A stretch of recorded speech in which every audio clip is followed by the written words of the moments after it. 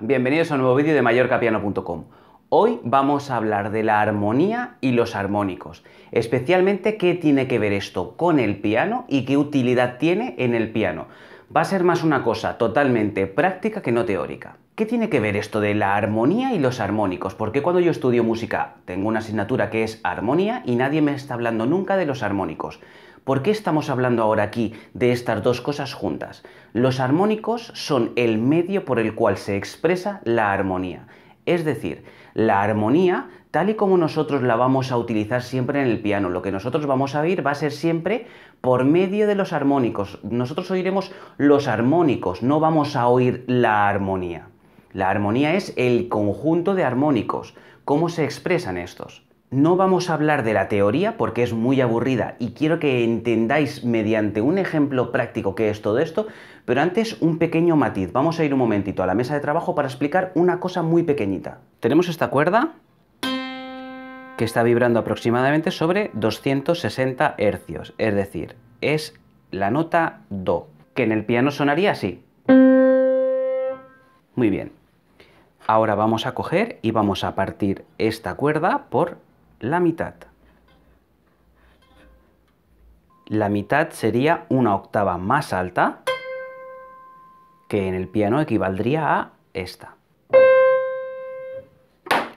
Si la partimos en otro sitio, vamos a tener una quinta, una tercera mayor. Según donde vayamos partiendo esta cuerda, según donde vayamos haciendo la partición, la cuerda va a ir vibrando siempre en partes múltiples y iremos teniendo el resto de notas. Tendremos quintas, tendremos terceras, todo va a depender de la partición. Nosotros cuando percutimos o punzamos una cuerda va a vibrar en su armónico principal, es decir, la nota que estamos pulsando. En este caso hubiera sido un Do pero al mismo tiempo esa cuerda va teniendo una especie de particiones, unos nodos, esto es muy complicado y no es necesario que lo entendamos ahora, pero esa cuerda va a vibrar también en otras frecuencias diferentes, se va a partir por la mitad, no es que se parta, pero la vibración se nos va a partir por la mitad y va a vibrar en su octava, se va a partir también en tres veces y va a vibrar en otra nota, va a ir partiéndose en diferentes veces, en diferentes particiones y va a ir teniendo diferentes armónicos. Todos esos armónicos van a generarnos el sonido de nuestra nota, pero nuestra cabeza, nuestro oído no es suficientemente bueno como para poderlos distinguir independientes. Ahora veréis en el piano cómo sí que los vamos a poder distinguir si prestamos muchísima atención, pero no es fácil. Una vez que hemos finalizado este pequeño inciso, vamos ya directamente al piano. Vamos a empezar con lo más básico, pero antes otro pequeño inciso.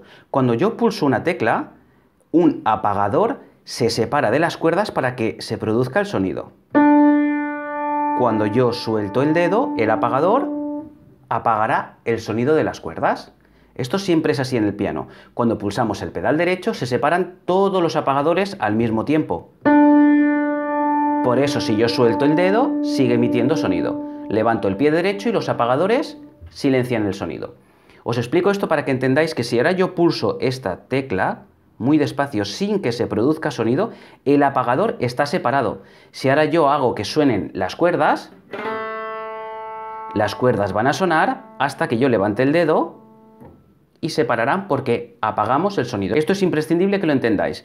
El sonido se va a producir siempre que yo tenga la tecla pulsada. Da igual si yo hago una percusión de las cuerdas, si pulso fuerte, percutimos la cuerda y se produce el sonido. Pero si yo no percuto, si yo doy flojito, el apagador también se separa y si yo rasgo las cuerdas, se produce sonido hasta que yo levante el dedo. ¿Por qué apagar el sonido? Muy bien. Pulsamos la 3, suena a 440 Hz. Ahora vamos a pulsar la 2. ¿A cuánto va a sonar en la 2? A la mitad, porque es su octava. Va a sonar a 220 Hz. ¿Por qué es esto importante? Ahora vamos a ver qué son los armónicos. Ahora os voy a mostrar que en realidad suena más de un armónico y suena más de una nota al mismo tiempo. ¿eh? Fijaros en esto.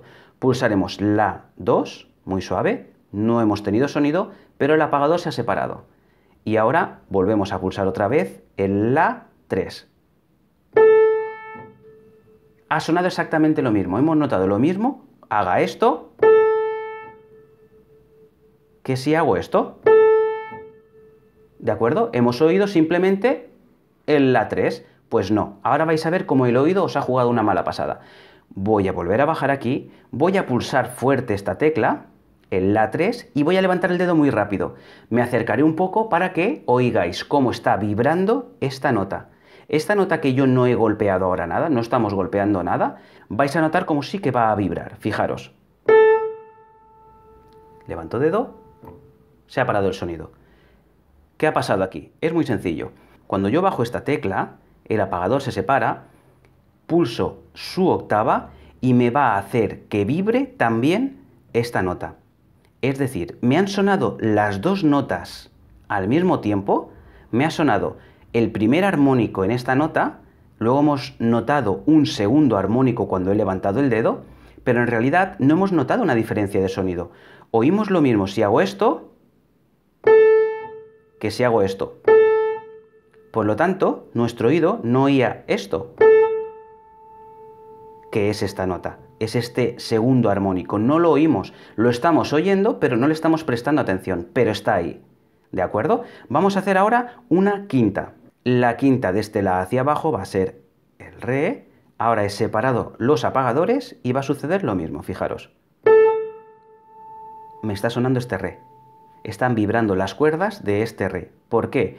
Porque la vibración de su quinta hace que vibren por simpatía, lo llamamos siempre por simpatía porque son simpáticas, nos hacen el favor también de vibrar y como están en una frecuencia compatible, me vibra esta nota.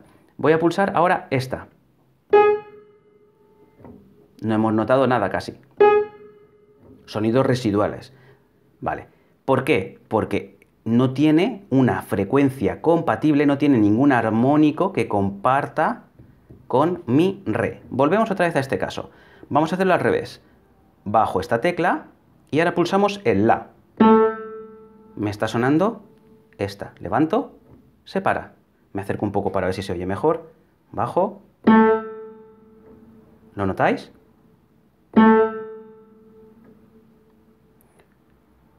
Vamos a hacer lo mismo con la quinta.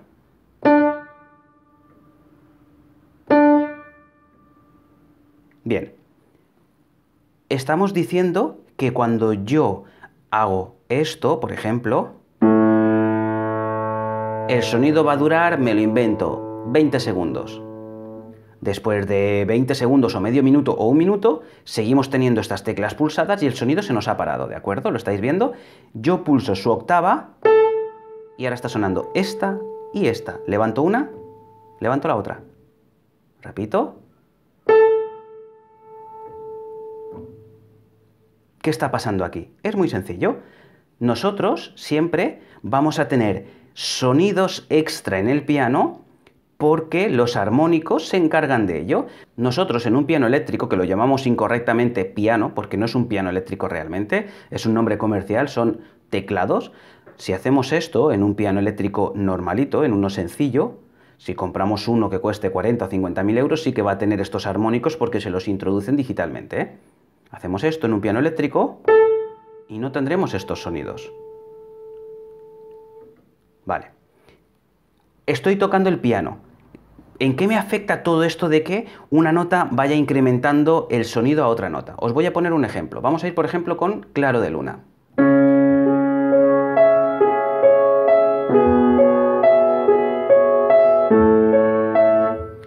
Bien, ¿Nosotros qué hacemos cuando tocamos esto? Nosotros vamos intentando expresar nuestros sentimientos. Empezamos con un primer movimiento bastante fuerte. El segundo movimiento no es tan importante y vamos a dejar que decaiga un poquito. Y luego, con el tercer movimiento, vamos a entrar con muchísima fuerza. Vale. Volvemos otra vez a este vídeo, a lo que estamos hablando, los armónicos. Fijaros en esto. Bajo el acorde, ¿lo veis? He bajado esta nota y esta nota. Son la misma octava, no he generado sonido y voy a empezar a tocar sin pisar pedal. Tenemos sonido. Levanto, se para. Repetimos. No se ha generado sonido, Vamos a ir con el segundo, pulsamos el acorde. No se genera ningún armónico, no me están vibrando las cuerdas de estas dos notas, ¿de acuerdo? Y vamos con el tercer movimiento, que sí que es importante, volvemos a tener otra vez un subidón, bajamos el acorde, es un La, la octava, sí que volvemos a tener otra vez los armónicos aquí presentes. Fijaros.